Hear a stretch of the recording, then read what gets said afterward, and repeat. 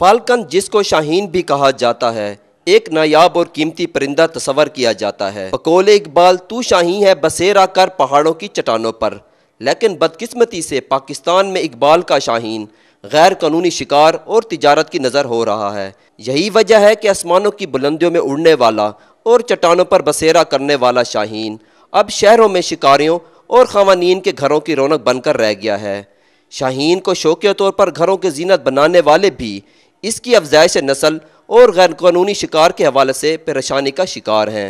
यही कोशिश कर रहे हैं कि इस नायाब परिंदे को बचाया जाए क्योंकि जब से इनकी प्राइस बढ़ी है तो लोग इनके पीछे पड़ गए हैं। शाहीन की नस्ल को बचाने और इसके गैर कानूनी शिकार को रोकने के लिए हुकूमती सतह पर तो कोई इकदाम देखने को नज़र नहीं आ रहे लेकिन गैर सरकारी तंजीम पेपको इस हवाले से इसकी अफजाइश नस्ल पर खसूसी तवज्जो दे रही है।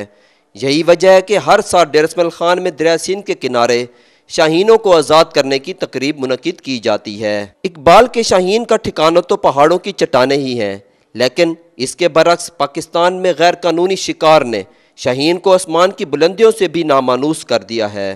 नवी सुल्तान, आज न्यूज़ डेरसमल खान।